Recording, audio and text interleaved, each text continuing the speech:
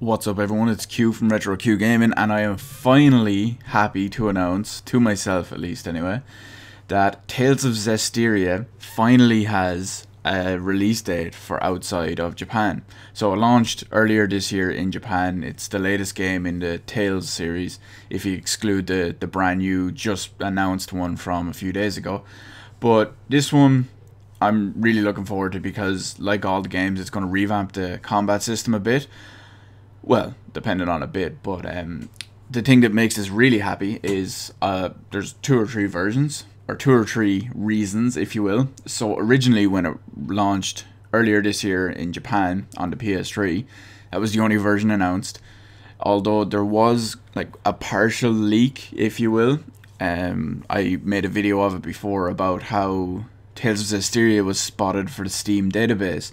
Now, like I said in the previous video, appearing in the Steam database doesn't necessarily mean it will release on Steam because people have seen Destiny and Halo 3 both on the Steam database, obviously both of which have no PC version.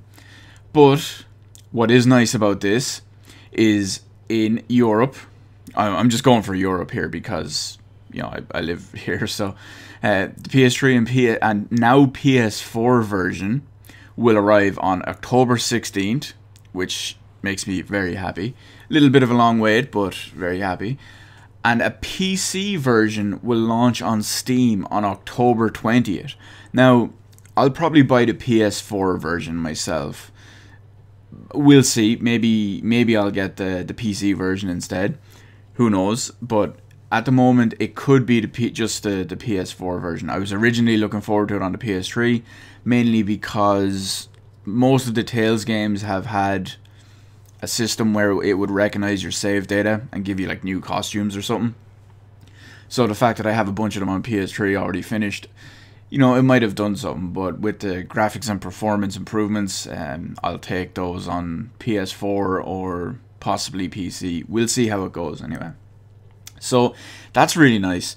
Um, one other thing that's that's quick to, to announce as well, if you will, is that the PS4 and PC versions are European and North American exclusives. So, I mean, the game is already out in Japan for a few months now, only on PS3, but they will not be getting the PS4 or PC version. I could I can understand them not getting the PC version because PC gaming isn't really huge over there, but the PS4 version, the fact that they're not getting it, kind of surprises me a little.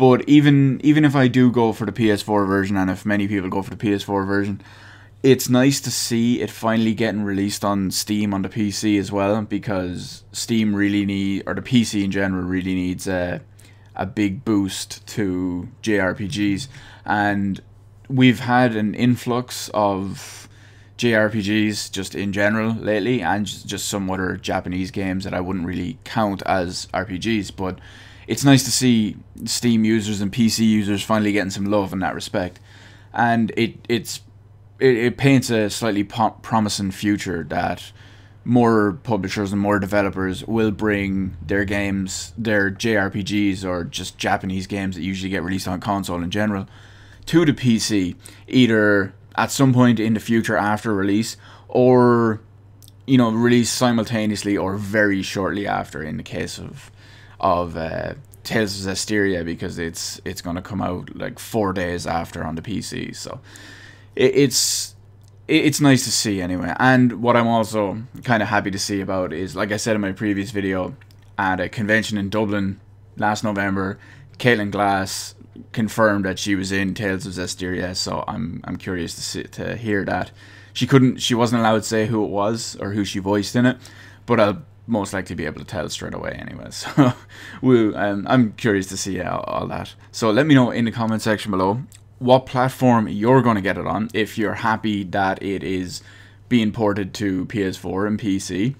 I know, like I said already, I am because this officially retires my PS3 for PS3 games. I was only holding out for this and Persona 5. Persona 5 got announced for PS4, so yay. Or and um, now this is PS4 and PC, so yay. So PS3 is just kind of retired. I'm getting off on, a, on a my own little thing here. So let me know in the comment section below that what you plan on getting it on. If this will be your first Tales game, if you love the Tales games, just anything like that in general. So let me know all that down below. Hit the like button, hit the subscribe button. You can follow me on Twitter, details in the description below. Thank you for watching, and I will see you on the rest of the videos in my channel.